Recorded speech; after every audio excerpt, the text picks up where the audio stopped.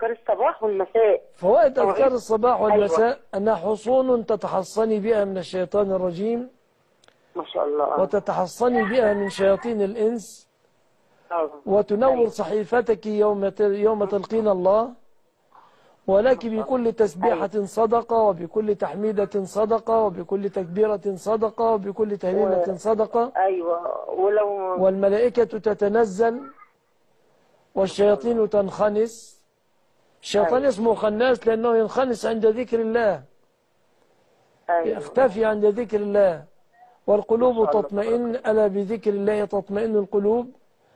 وحروز لك طول اليوم من أسباب حفظك طول اليوم. بارك الله أيوة. فيك. السلام